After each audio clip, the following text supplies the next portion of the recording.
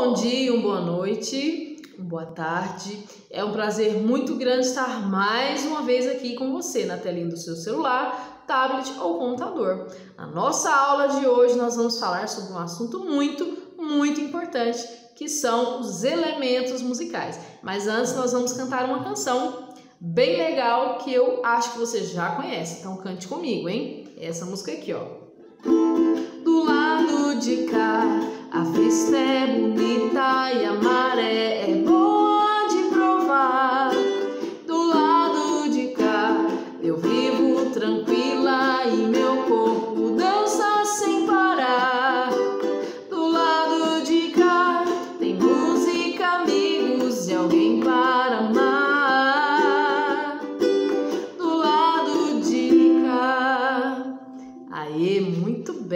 uma canção dessa para a gente começar a nossa aula com boas energias. Então, hoje nós vamos falar sobre os elementos musicais, que são aqueles elementos que formam, que constroem, que constituem a música.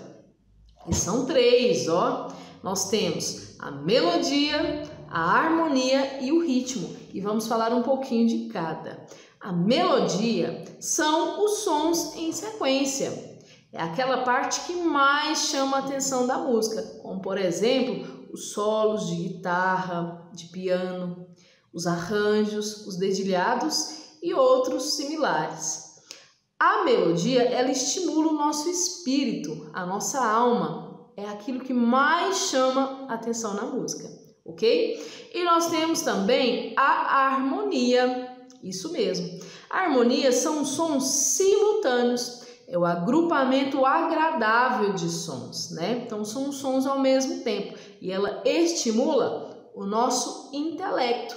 São os acordes, né? São aquela parte que você ouve da música que você não consegue identificar qual é a música, é como se fosse uma base musical, ok? E nós temos o ritmo. O ritmo, ele é a organização, seja da melodia, seja da harmonia, no tempo, isso mesmo. E ele estimula o nosso corpo, porque quando nós escutamos uma música, principalmente uma música dançante, nós queremos dançar, ainda que sem perceber, não é mesmo?